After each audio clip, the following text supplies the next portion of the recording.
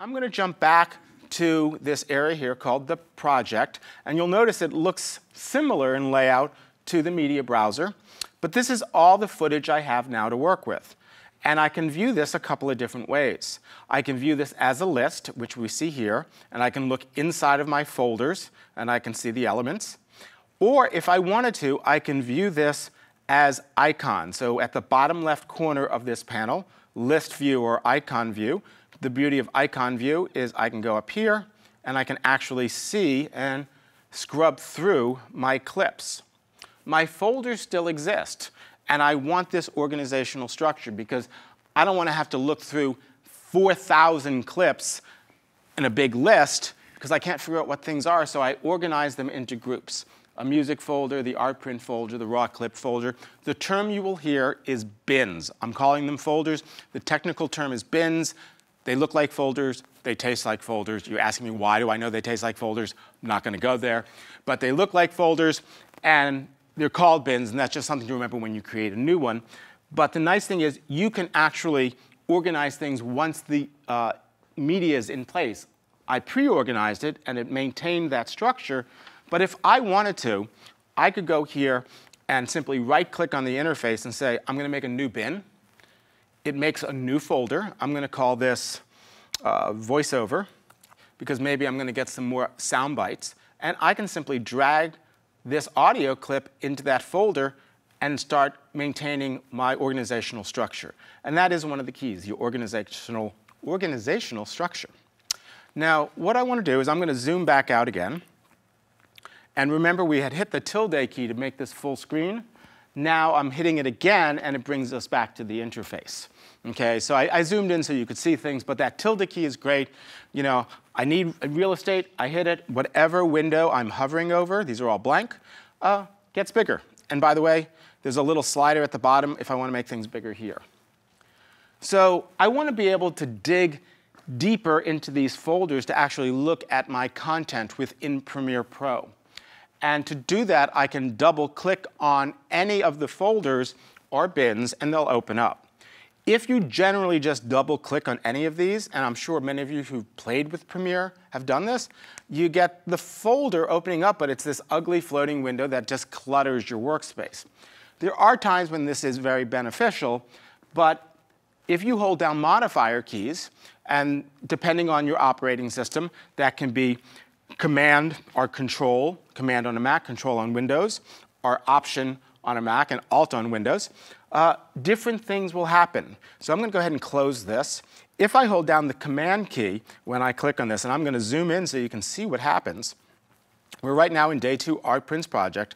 I want to actually look at my raw clips. I'm going to hold down the Command or the Control key. When I double click, I step into that folder. In other words, I can go back up, but I step into that folder so I don't have this clutter on top. So that's how you can dig in and keep your desktop nice and clean. If I want to go back, there's simply that up arrow inside of the folder icon, and that would take me back to the upper level. So you want to be able to keep things clean. So I can do that. I can go Command and then step into uh, my music and I can see all my audio clips. And if you notice, there's a different icon for different types of media.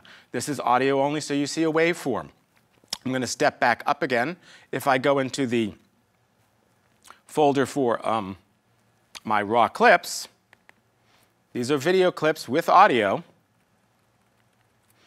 And I can see that because it is a video clip, but I see a little icon here, and that indicates there is sound associated with this. So there's a lot of pieces of information uh, within the interface that kind of plugs you into what's happening. And then if I go over to the still images, and once again I'm going to step up, and we look at the art prints, I'm holding down the command key again. If I hold down the command key, you notice I step inside. It's a way to keep organized. But there might be an instance where it would be great to have both my main panel open with all this, and maybe I want to see another panel that just shows me my art prints. And that's where holding down the Option key or the Alt key on a, on a PC will actually, instead of opening it up inside, it creates a new tab, which I'm going to slide right over here, and I can look at my art, or I can look at my big folder structure. And as a matter of fact, I really like to look at my main folder or my main panel as a list. So I'm going to go back to the bottom, click on that. So now I have a list for you to find things, but if I want to look at those art prints, they're right there. And you'll notice when I zoom in, you don't see that little audio element because it's a still image. There is no audio. So I can look at my pictures, I can choose what I want, and that's the great thing is this icon view is I can see before I bring it in. So that's the basics of bringing things in and some organization. Let's go ahead and actually start editing with some of this material. So the first thing I want to do is create a brand new sequence, okay? And once I create the sequence, I'll actually explain the interface a little bit more, but I need to have a place to build my show, and that's called a sequence. And what you do is you have this blank, it's your blank page as if you're writing, and you're gonna throw your video and your audio in and build it from beginning to end. So this would be the beginning and the end. Uh, so you have your first shot, second shot, you're gonna put some music in. So we need to create that. Now, we talked a little bit about video formats yesterday and codecs and 1080p and 720. Um, you need to make a decision on the size of your sequence depending on what you're going to deliver. So right now, the, the standard for high definition television is 1920 by 1080. It's called 1080p. And even if you're delivering a smaller version to, say, the web or to um, phones, build it in the proper size or the largest size you need, just like you would with a photograph, and then you can always scale it down afterwards. You don't have to make it small and then, oh, I'm going to have to enlarge it because you're going to get a softer image. You're going to lose some quality. So we want to, by default, create that sequence. You would do that under File, New. And one of the things I like to remind folks uh, in Premiere uh, and uh, you'll hear me say it throughout the course, is the good thing about Premiere Pro is that there's four or five ways to do everything. The bad thing about Premiere Pro is there's four or five ways to do everything. And that can be a little confusing. One of the things a lot of folks said yesterday is that Premiere is very intimidating. And it is because there's all these options. You don't have to use all these options to get started. Okay? So I'm going to make a new sequence with the drop-down menu. There's a keyboard shortcut that I can learn which is the standard one for like even making a new Word document or a new, any new document, Command N, Control N on, on Windows. So I could use a keyboard shortcut. And there's other buttons throughout that let, that let me make a, a new anything, a new sequence, or you can see below that, a new bin, which we now know is a folder. Excellent. Interaction, I like that. You're like, but we can't get a word in edgewise. He's talking so fast. I often have asides with myself. Um, just enjoy it or shake your head and do the face palm. So, new sequence. This is really confusing to new users. And you know, I've, I've talked to the engineer, and they say engineers, they go, yes, we know, but we have to offer all of this. It's like, what do I pick? What's this ARRI, AVC Intra? A lot of these are broadcast or legacy old video formats. For most people watching, especially if you're coming from a photography background, uh, you can go to the digital SLR uh, folder.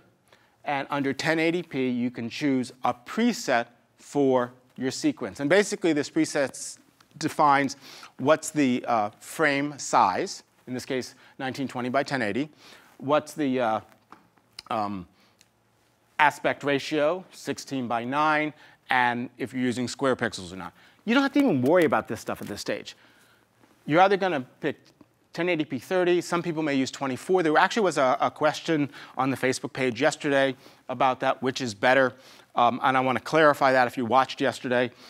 I don't think one's necessarily better than the other. There is an ease of going from uh, 24 up to 30 because then you're actually creating some frames or duplicating some frames, and there's some fancy math to do that as opposed to going from 30 to 24 where the only way to really do it is to remove frames. So it's a little fancier than that. It's a little more magical than that. It's an easy way to say I'm not going to explain the, the math.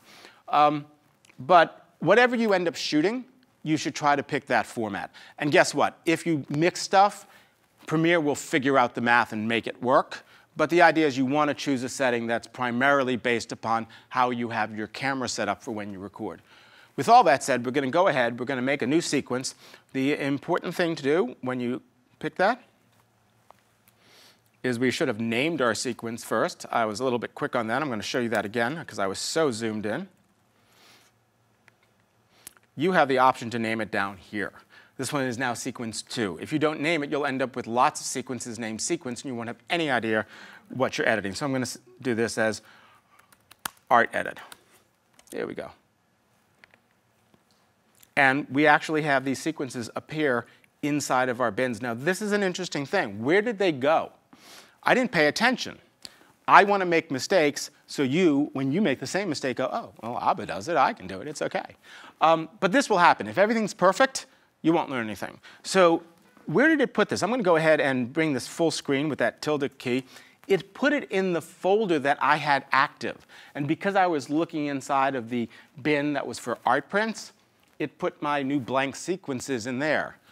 But the beauty is I don't have to delete it and start all over again. I can drag things around from folder to folder. And this is why I like that ability to have actually a couple of, of my tabs be my different panels, such as my project file. If I click over there, there's my list, there's my art print. There are my new sequences. And a matter of fact, I know it's a sequence because you'll see that the icon is different. It actually, you'll see, it looks like a sequence when we actually open up the timeline.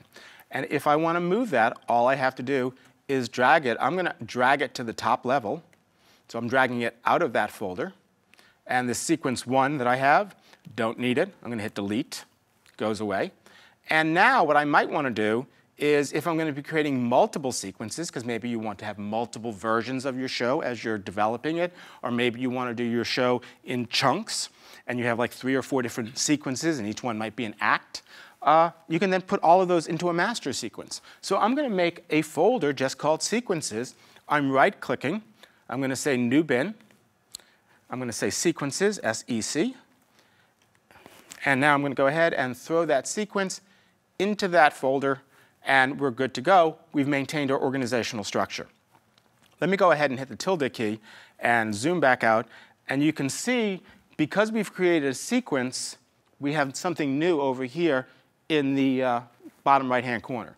That is where we are building our show, a graphical representation of the show.